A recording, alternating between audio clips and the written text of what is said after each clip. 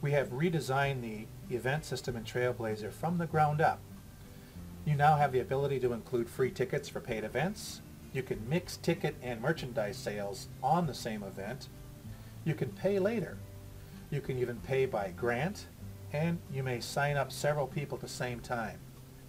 Each person that has been signed up for the event will receive a ticket by email for that event. Let's take a look at how this might look on your website. My website has a theme of panda bears on it, and I've gone to my events page. As I scroll down my events page, I'm going to see a few things over here. For instance, I've got a filter control where I can see all of my events, which I am currently in right now, or I could look for events for next week, or this weekend, this month, or next month. Let's select my buy event. In this we've got a grand opening. We've been running a capital campaign for a while and we've got a grand opening and event coming up and we're giving away free tickets for that. And I'd like to buy three tickets. Buy three tickets. I've also got an option to maybe buy some other parts to the building. For instance, maybe I'd like to buy a wing for that. Well, that's a half a million dollars. In my case, maybe I would like to buy a bench and I'll buy one of those. I'll now order and register. I can see that I have purchased three free tickets for the event's grand opening, and I am buying a bench.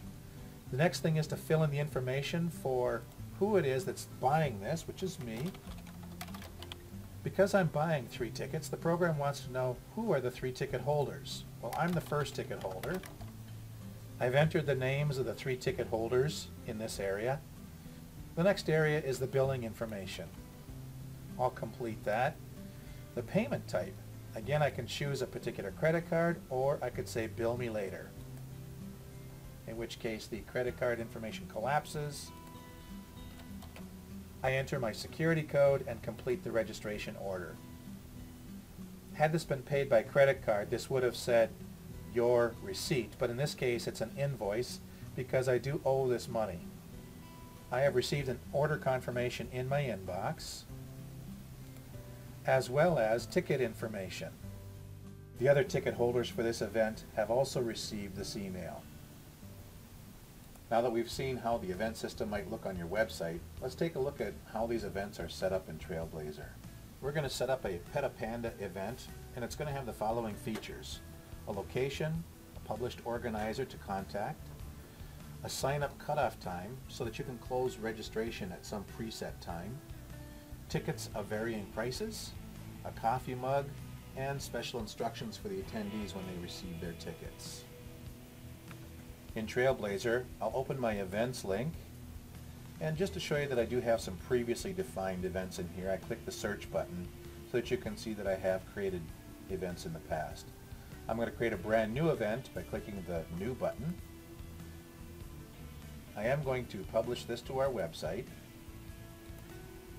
I'll enter my title. I'll enter the address for this event and I want to publish that also on the website. Publishing the address information also adds a map to the event page.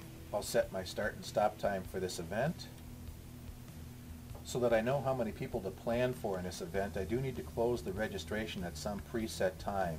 Now I can do that in the drop down shown here. In my case I'll show two days before, but I could also pick a very specified time if I wanted to.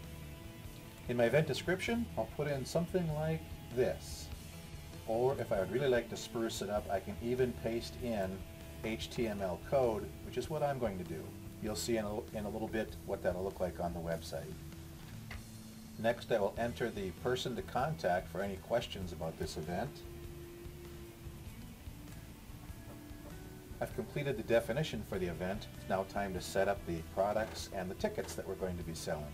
For that, I'm going to go to my Products tab, and I've got a Merchandise and Tickets. I'm going to click on Merchandise. I'll choose New.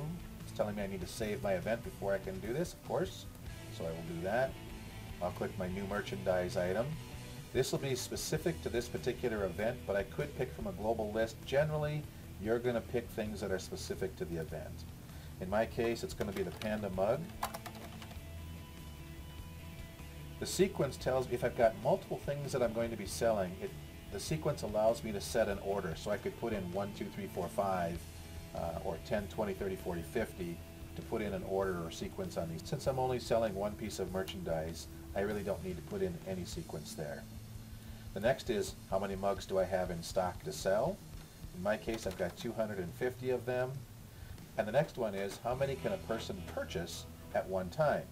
I may restrict the quantities or I may not. So I could say 250, but chances are what I really rather do is set that down to 100 because it's going to create a drop-down box where I may not want to populate that with all 250 at a time. The next thing, of course, is to set the price on that mug, which I'm going to set at $15, and I'll save it. Now that I have my merchandise added to this event, it's time to put on my tickets. I'll click on my Tickets tab, click New, and again, this is a ticket specific to this event, and for this one, I'll put Adult. Now because I am going to have multiple ticket items on here, I do want the adult ticket to display first on the website, so I'm going to start at a number 10. My next one I'll do at 20. I'm going to establish my adult seating capacity at 500 and I'll establish my max order quantity at 10. The unit price for the adult ticket is $25. I'll save that and start another. And this one will be my student and senior pricing. This one's going to be in position number two, or in my case I'm setting it to 20. And that's just to give me room in case I wanted to put something in between 10 and 20 at some point down the road. I could do that. I'll set my capacity on this for also 500.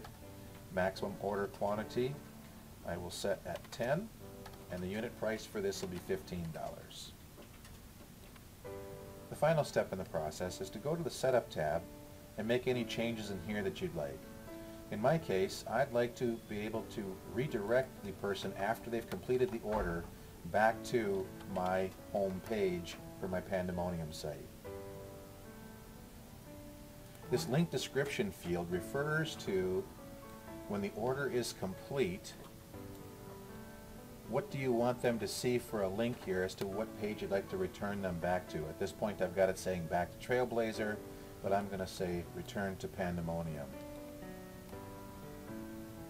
The special instructions are emailed to each attendee that you signed up and can be any special instruction that you might want the ticket holders to know about. We'll save and close, and let's take a look at how this looks now on my website. I've returned to my events page where when I scroll down I will see the new event that I just created in Trailblazer added to my website called Petapanda. When I select my Petapanda I see my adult ticket and my senior ticket options listed here. I'll add one on and I'll add one here and I'll even buy a mug. If I scroll down I'll see an event description. This was the specialized code I had placed in, in the description area. I'll order and register.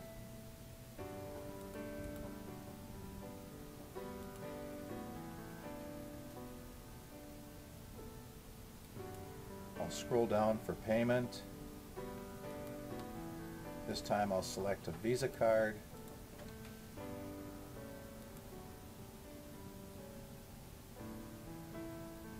Now you can see I've got a receipt with an order total and I can return back to my website.